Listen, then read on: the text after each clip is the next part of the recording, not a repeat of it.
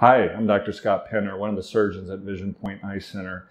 We often get asked, Doctor, will my cataracts grow back? Well, the answer is no, but there is a condition that some people refer to as secondary cataract that causes some confusion.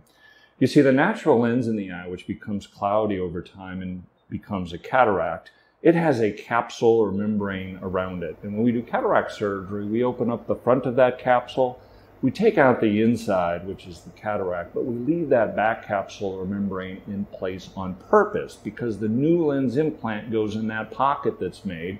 That's what holds the implant in until it heals in. Well, that back membrane starts clear, but tends to get hazy over time and can cause the vision to be hazy or blurry. The medical term for that is called posterior capsule opacification, but some people call that a secondary cataract. Fortunately, that membrane is not needed once the implant is healed in.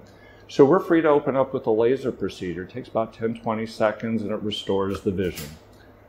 I'm Dr. Scott Pinter at Vision Point Eye Center. Thanks for listening.